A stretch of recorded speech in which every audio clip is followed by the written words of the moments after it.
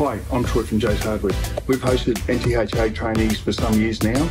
Our trainees complete a Cert 3 in retail while we provide on-the-job training. Doing traineeship gives them not only a understanding of our business but also formally qualifications in areas like WH&S, merchandising and dealing with customers. We find that this is an ideal way to bring new people into our business.